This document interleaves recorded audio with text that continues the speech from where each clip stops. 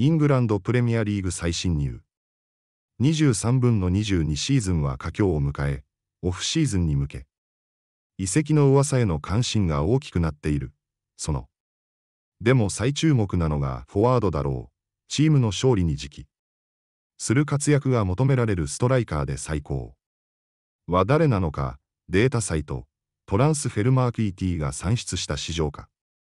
ランキングの最新版を紹介する。市場価値、正。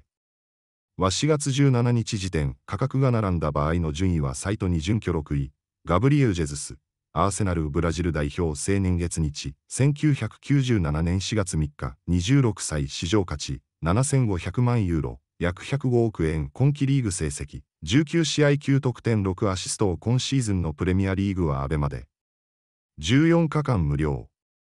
いつでもどこでも簡単視聴、サッカーアーセナルに加入したガブリエウ・ジェズスはチームに即フィット。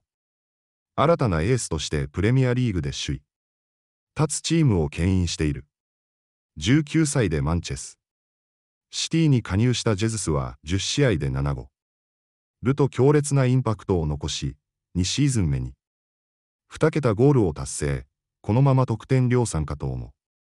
レタが前線の人員が流動的だったシティで、絶対的なストライカーに定着できず、在籍し、5シーズン半で2桁ゴールは2度に止まった。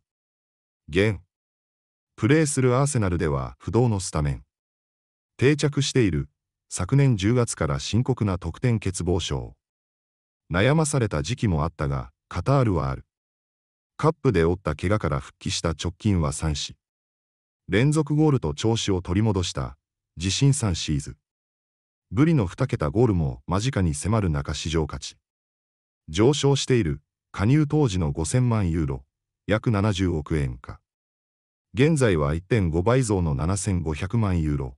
約105億円となっている。古最高額8000万ユーロ。約112億円。到達も間近に迫いる。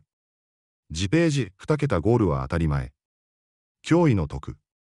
能力を持つのは、関連記事世界最高のフォワードは誰だ上価値ランキング1から10位世界最高の選手は誰だ上価値ランキング1から10位両関連記事。